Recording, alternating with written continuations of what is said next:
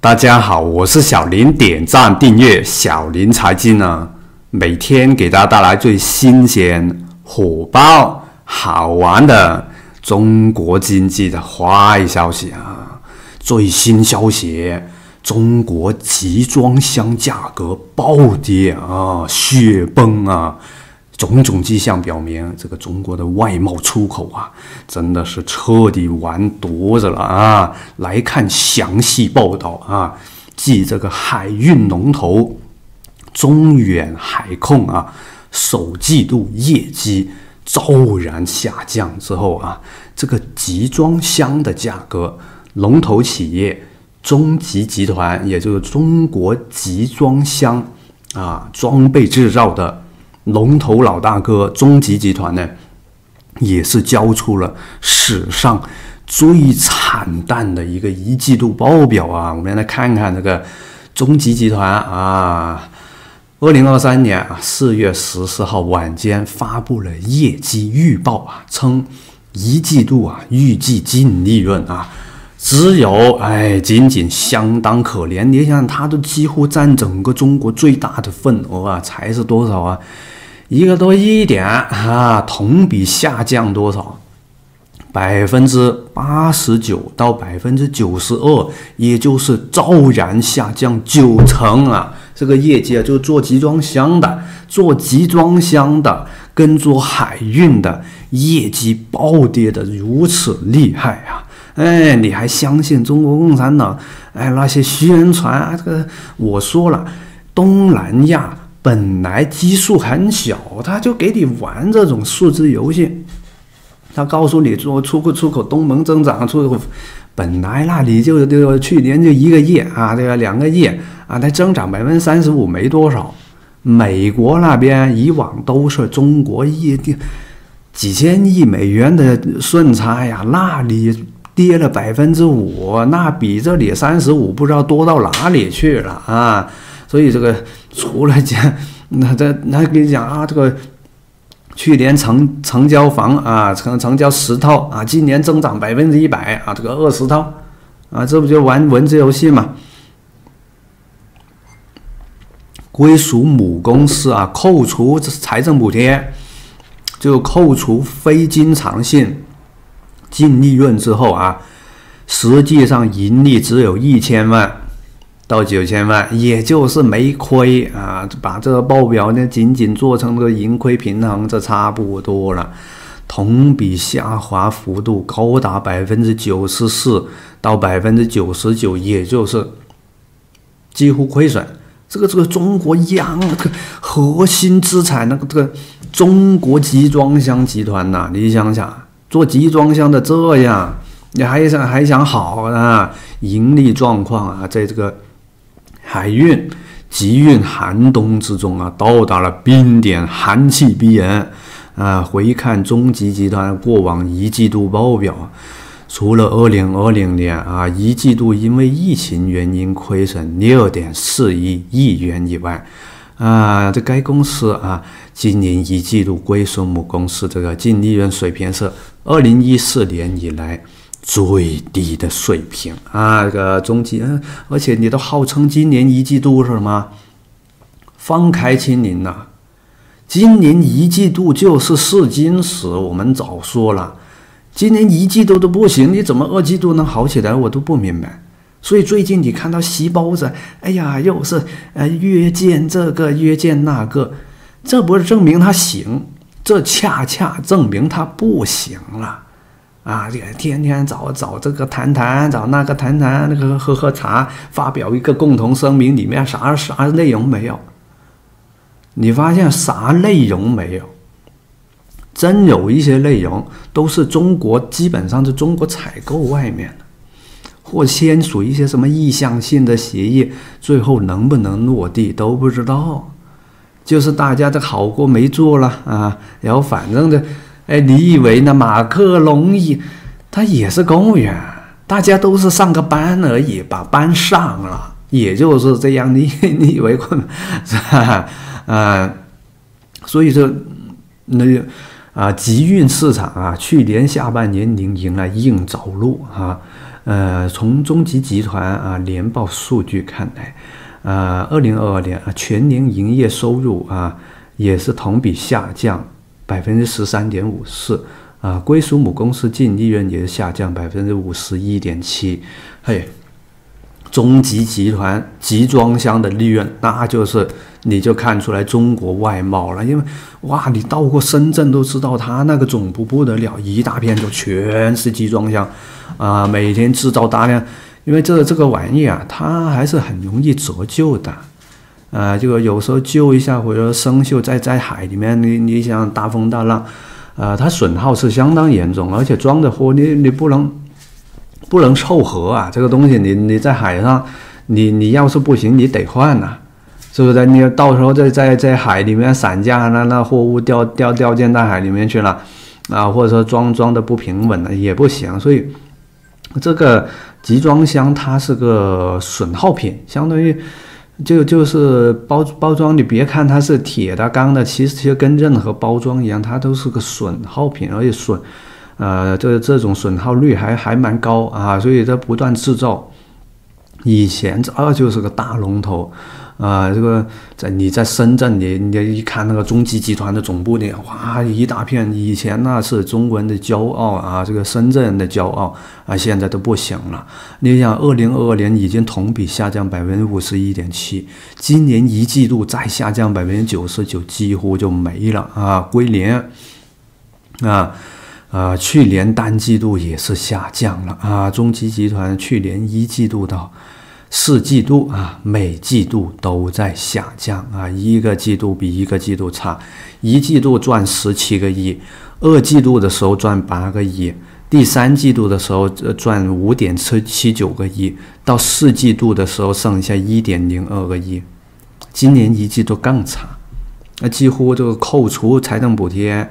啊，这种非经常性之后一千万，跟零没区别啊，所以就也就是一直现从趋势再到单季度的数值都相当糟糕啊。中集集团啊，年报显示啊，你看又是在撒谎啊，这个所有官方媒体口径都是二零二二年海外通胀高企，欧美大幅加息，哎。人家这个通胀还有加息，就证明人家经济过热嘛？啊，全球经济贸易增长动能减弱，他一直都这么说。他都说哦，为为什么我们出口外贸不行？因为外面不行。这个就是纯粹跟忽悠老百姓。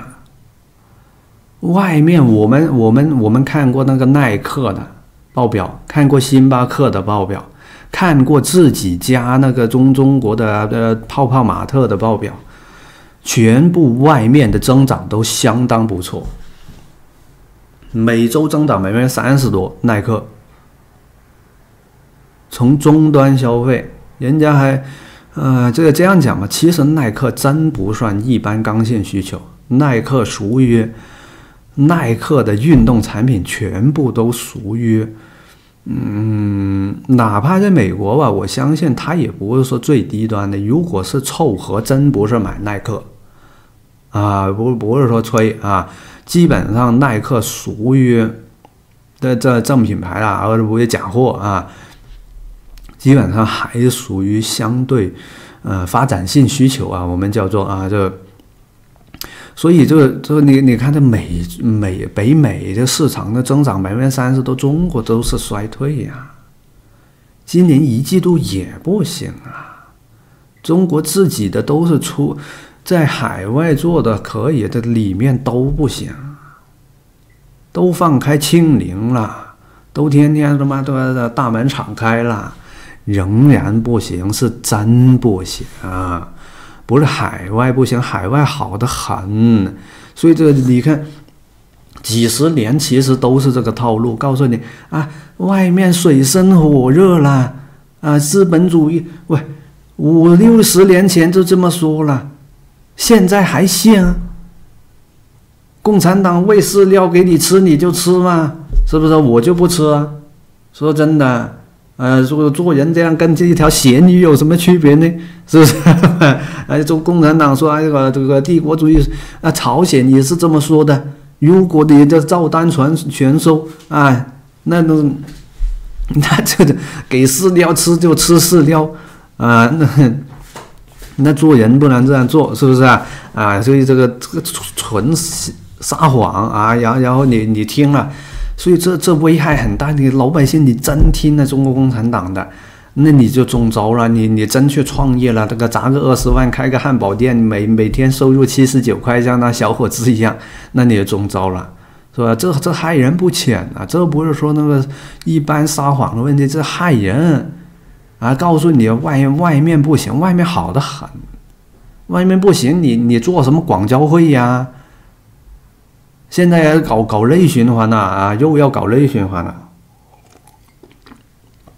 啊！全球经济贸易，呃，呃，说说放缓啊，所以需求放缓啊，这个等影响啊，作为说这个出现这个回落啊，他就这么说啊，其实是人家有订单没给你，为什么中国要要灰溜溜的跑到越南那里绕了一个圈圈？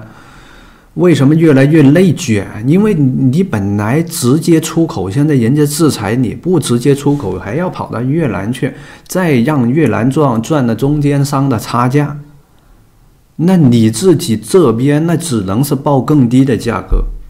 所以为什么越来越内卷呢？那个快递都都两块钱一单呐？为为什么现在在东莞单劳工单价越来越低了？你。你越出口东盟，越不行。你自己直接出口，你出口啥东盟啊？啊，所以说也啊，这这也是一个原因啊啊。实际上，你看这个中集集团啊，这个集跟这个中原海控啊同病相怜。在四月十号啊，中原海控披露二零二三年一季度预告啊，显示啊都是下降。你看中原海控就是做做海运的嘛。啊，一季度也是减少百分之七十四点九一，就这个德性啊。最新的中国出口集装箱综合运价指数较上一周继续下滑百分之一，啊，然后九百多个点，这这这，反正就是这个一个指数啊。然后这很很很搞笑啊，我看到中国在演，他全世界我看日本的哈这个各种英文媒体没有报道。啊，说这个这个布林肯又要访华了，没有这样报道。我这个我就奇了怪了，全世界没有报道，就中文中文圈在报道。啊，说布林肯又要访华了。然后今天我看到这个德国之声，啊，这个这个德德国媒体啊，《金融时报》又是中国拒绝重启啊布林肯访华。喂，我操什么这这这简直有病了，是不是？自己做了一个新闻，说布林肯要要访华，然后自己再做一个新闻啊，说拒绝他访华。我操，这你是不是有病的？这这中中国现在这些新闻谁谁看呢？究竟是？所以不是说有人说，那些不不扯那个啊。所以这个我我们还有啊，你看这个昨天晚上我们也是刚讲过，所以经济特差，特差没钱。因为昨天晚上我们刚好也是聊了一句那个深圳地铁的被砍的事情，我瞧了一下，原来还真不止深圳地铁被砍，全国地铁都在砍。我细思极恐，深圳地铁五期规划啊，这个只有九条线被批，十八号线、二十一号线、十号线东延、十一号线北延被砍。全部就是郊区郊区铁路都都被砍了啊！对接东莞长安的啊，东莞三号线的十一号线砍掉啊，东莞凤岗龙岗中线十号线砍了啊，深圳郊区沙井龙岗平湖连接深莞的三号十号十一号线全砍了啊！这砍的是地铁嘛？这砍的是城市的郊区的未来和房价都砍了。那里面很多人就血本无归了，啊，这些地铁规划是政府的信用啊，不仅是深圳在砍，你看啊，呃，杭州地铁四期也砍了一半，成都由原来的五十五条地铁线路砍的剩下十九条，什么意思啊？这就是政府的违约。你要不不要出这个规划？你出了这个地铁的规划，人家买房了，你现在告诉我地铁砍了，这算什么？找谁？是不是要行政诉讼深圳市政府啊赔偿我买房的损失？我当初我是听了你政府的。地铁规划，我买了这个房子，那现在你你你说哦，地铁不见了，一句话比不见了。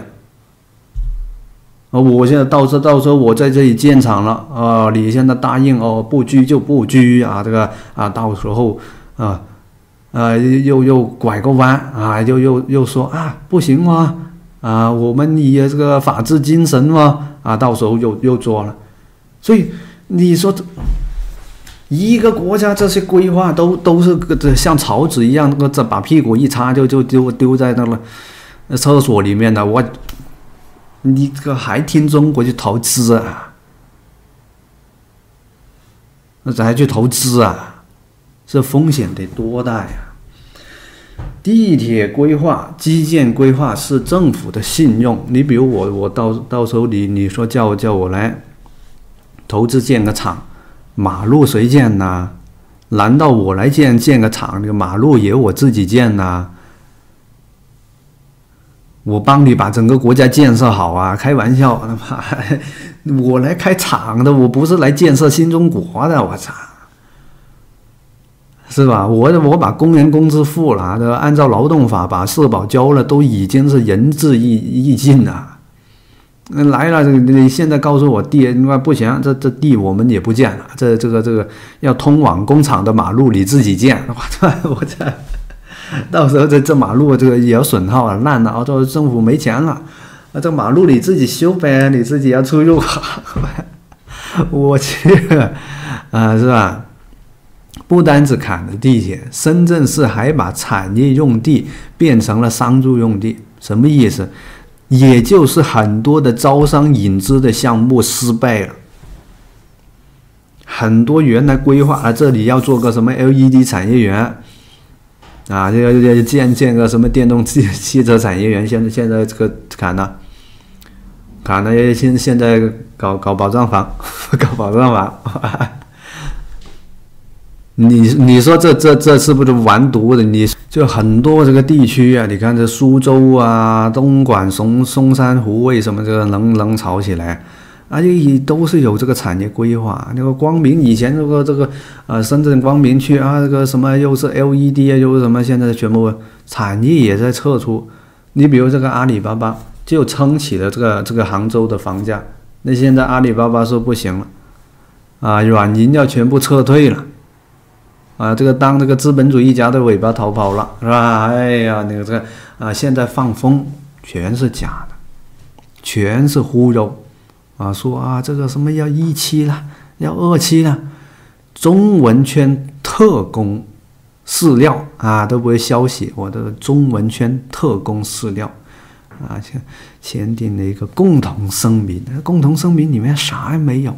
共同声明第一句就是什么啊？这个卢拉啊，呃，祝贺中国共产党啊，可可连二十大，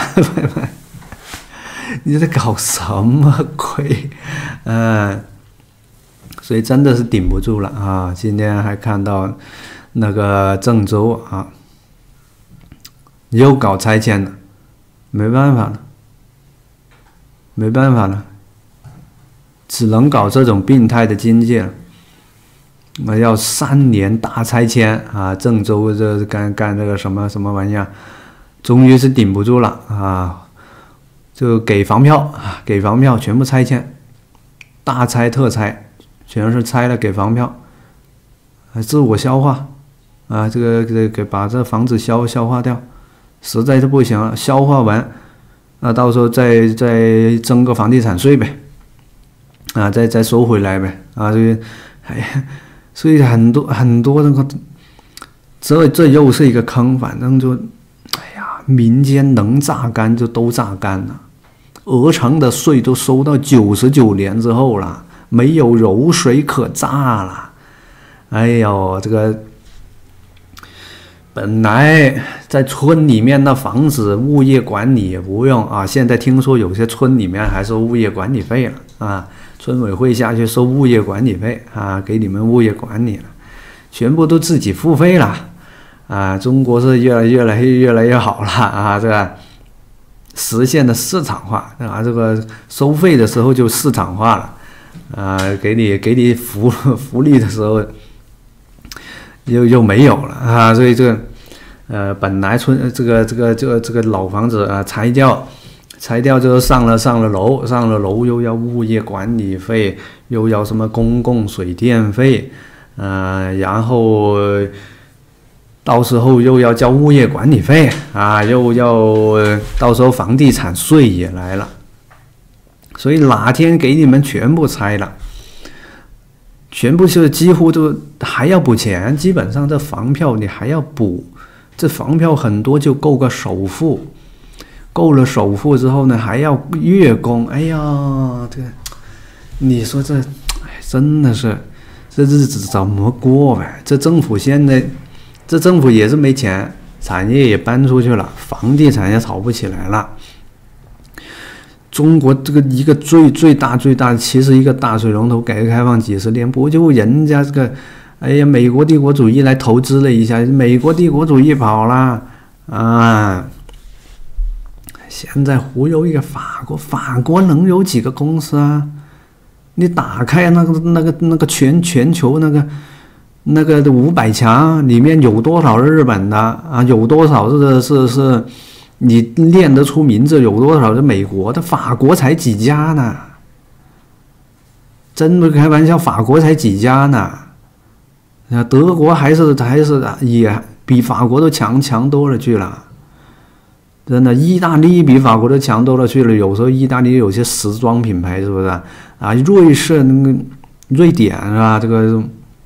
你那个宜家集团，我去开的也是全世界都是，啊，都是做的很棒。那法国有时候这还真不如，真不如德国啊。那个法国确实不如德国经济实力上啊，所以就，哎呀，真是不行了啊！这个人现在到处拆迁啊，所以今天说一个一个这个外贸啊，这个集装箱价格暴跌，外贸不行啊，里面很多规划直接违约，那后面那个。后患无穷啊！政府的信用完全扫地啊！对于，哎，还投资，怎么信得过？你现在细胞的，你说什么都不管用，你你都说话像放屁一样的，就像谁听你的？哎，所以就就这样了啊！先说到这样，觉得有点意思，简单的分享，拜拜。